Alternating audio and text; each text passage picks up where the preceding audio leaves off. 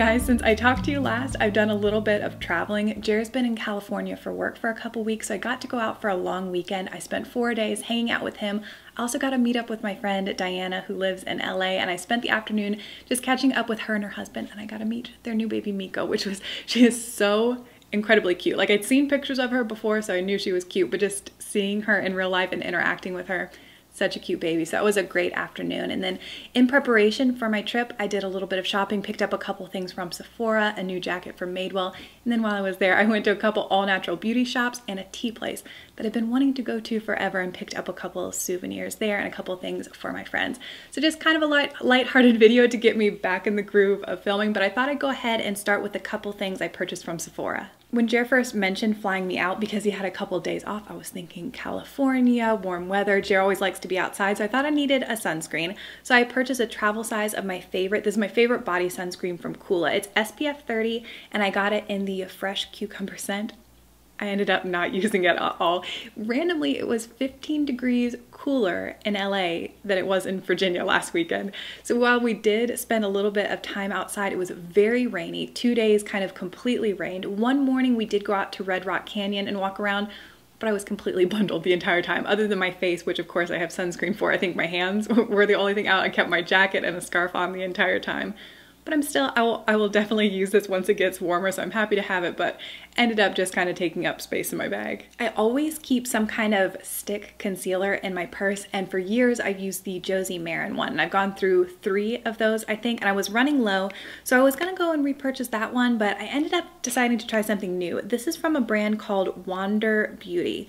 I don't know much about the brand to be honest. I started following them on Instagram because they were coming up as like a sponsored post a lot. And I think it's either started by, or at least the face of it is a model. And she looks familiar, but I don't know her name. But I got their Dualist Concealer. On one side, it's like a lipstick tube concealer, which is great because I, for the life of me, I still, I'm 30 years old and I still have yet to find a foundation or concealer combo that doesn't completely wear off around my nose. And I've tried all the tricks like the MAC paint pot things, still nothing works. So I love to keep a concealer like this because it's very easy to draw on. I don't have to like dip my finger into a pot. So it's a lipstick concealer type thing on one side and the other is more of an illuminating concealer. And it comes with a doe foot applicator and I've only used this a couple times while I was out, but I thought it worked really well. So I haven't used it as my sole concealer yet. This has just really been for touch up, but so far so good. And I would actually be kind of interested to try more from the brand. The last thing I got at Sephora is a travel size perfume spray from one of my favorite perfume brands, Commodity. I have and love Moss. I also have a small size like this of Magnolia. They've released some new scents recently, and I also think they're coming out with soap bars, which is kind of cool. So the two scents I was interested in were vetiver and bergamot.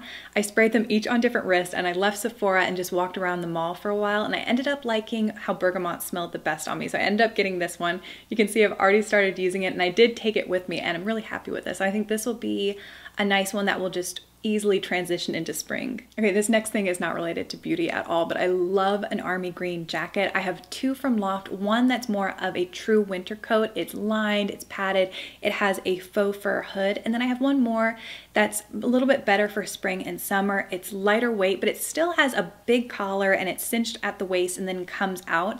So I wanted one that was similar in weight to that, but just a little bit more streamlined. Like I could wear it throughout the day and not feel like I had to take it off if I'm sitting down at work. Loft has one out right now that is very cute and I tried that one on, but in the back of my mind for so long I've wanted the, I think it's technically called the field jacket from Madewell. So I tried them both on on the same day. Actually, the mall I go to, Loft and Madewell are just right across from each other. So it can be can be kind of dangerous. But I ended up going with the field jacket from Madewell and I am so excited about this. And if you follow me on Instagram, I tried to post some Instagram stories of when I was in California. I wore, I don't think I ever took this off. I wore it pretty much every single day. This is just one of my favorite colors. I think army green is so good because it can go with so many different things, brown, black, navy. It looks great with denim. So as we're moving into spring, I think these types of jackets are so nice. So I'll put a link to this one down below.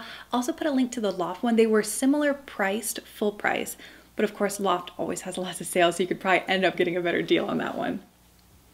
I think this one missed me too. She had to go stay with my parents and their giant white cat, who not sure how well they got along. I think he liked her more than she liked him. My flight from Virginia was pretty early, so I got to my destination around lunchtime and I went straight to Diana's house, had lunch there, and then Diana and I walked to a coffee shop.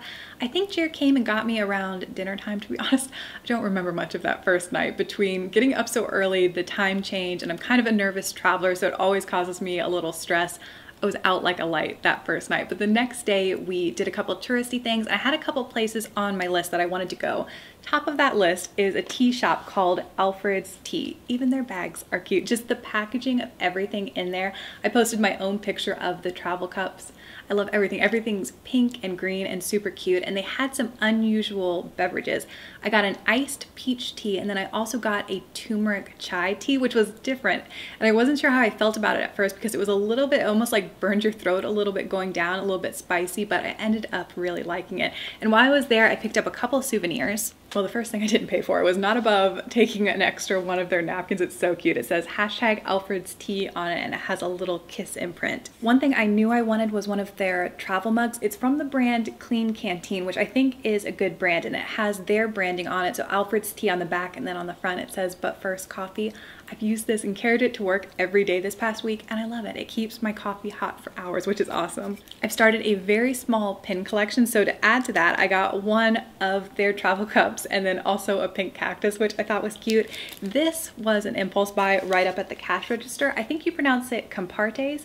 Matcha green tea, white chocolate, and pink glitter chocolate bar. This sounds kind of weird, kind of amazing, and I think after lunch today I'm gonna have my first piece of it. On the same shelves as the travel mugs, they also had these Beverly to Fifth body scrubs. They had a few different ones. I ended up choosing the Island Coconut Coffee Scrub. Never had a body scrub in a bag before. It just seemed a little bit messy, but I got sucked in. I was having a good day and I liked the packaging and I thought it sounded really nice. So I will test this out and I'll let you know what I think. One day for lunch, Jared knew he wanted to go to this barbecue place he had heard about and he loved it. It was a American barbecue with some Asian influences. I'm neither here nor there about barbecue, but I loved the baked mac and cheese was so good. And they also had this amazing cornbread. So we both really enjoyed it. And when he was paying, I just did a quick search to see what was nearby. And I think we were in the Echo Park neighborhood and a stationery store came up called Shout and About. Very small, but I thought they had just packed it full of really great stuff. Lots of Rifle Paper Company stuff, S'well water bottles, cool candles and cards. So I was walking around trying to find something that I could bring back to my friends as a little gift, something I thought they would like, but that would be easy to transport since I only brought a carry-on. So I ended up finding these teas and the brand is called Brew Peace. And I thought the packaging is adorable and both Sarah and Karen really like tea. So I got Harvest Moon Red Chai, Twilight Mint, and Lemon Mint Mate. So I'm gonna take these actually as soon as I'm done filming, I'm gonna meet up with them for coffee. So I'm gonna let them choose the ones they want and then I'll just um, have the left leftover, but I'm really excited. And actually I could have spent a lot more time and probably a lot more money in that shop. So if you live in LA, definitely check it out. And so I'll try to find their link to their website and put it down below. I'm not super familiar with LA and all the different parts, but I think one day we ended up kind of in the same area where we were for the Alfred's Tea on Beverly Boulevard. There were a couple all natural shops I wanted to go into. One, I feel like maybe an event had just ended because it was very crowded and I couldn't get to the display I wanted to look at. So I was on my phone and I realized I was kind of near a Credo Beauty. I followed Credo online for a while, but I've never ordered from them before. But their shop in LA, I just thought it was set up so nice. It felt very spacious on the inside, and they just made good use of their space, and it was all very clean and neat. Even the samples were very neat. So I had a really good shopping experience there when I went in and I just wanted to browse.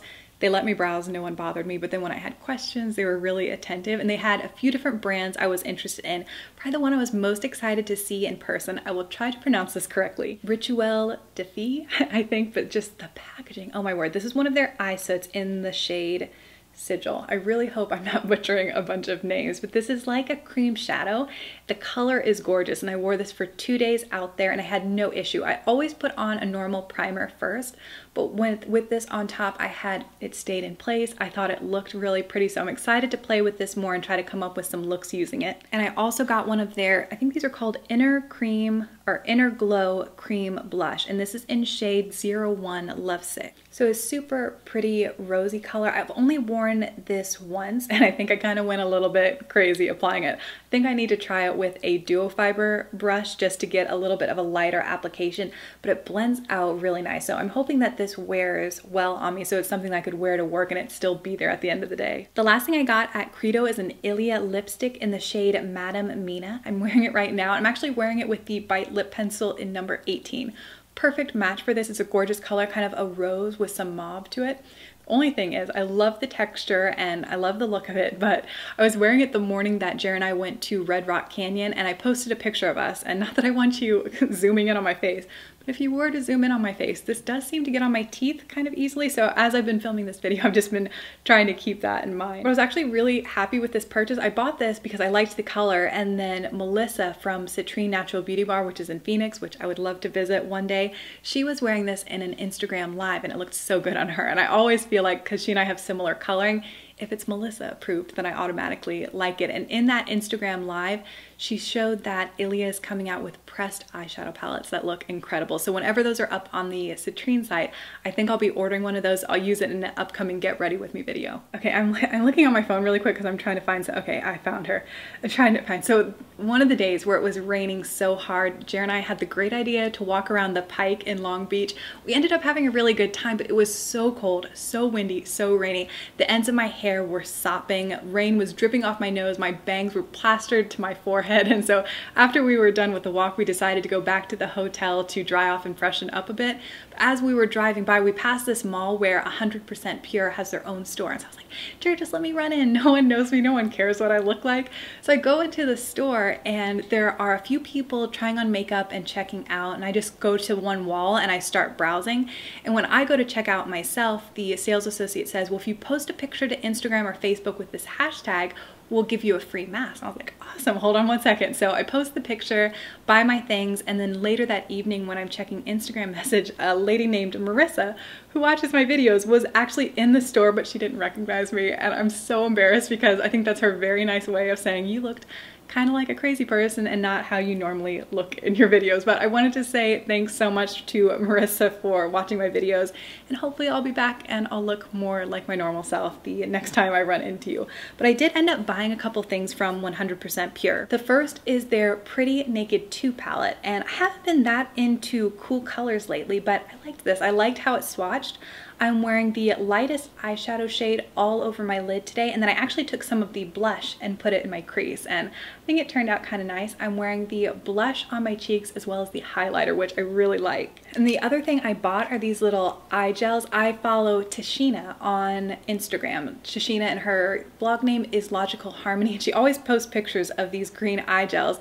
and they have caffeine in them so I thought those would be fun to try. And then for posting that picture, the thing I got free is their caffeine mask so it looks like this. I'm very curious to try this. It seems very wet, so I'm not sure how it will work, but the ingredients sound really good. Organic aloe juice, coffee extract, hyaluronic acid, bearberry, organic green tea. So I'm really excited. I don't have much experience at all with 100% pure, but I do really like the palette, so I'm hoping the masks work out for me too that is all for my haul. I hope you enjoyed. I'm really excited about everything. First impressions are very good. And then Jer was home this past weekend, but he's gone again for a couple days. When he gets back, I'll see if he'll help me film a get ready with me video. So if there's anything in particular you'd like to see demoed, leave it in a comment down below and I'll try to get that filmed. But thank you so much for watching today. I really appreciate it and I'll talk to you again very soon.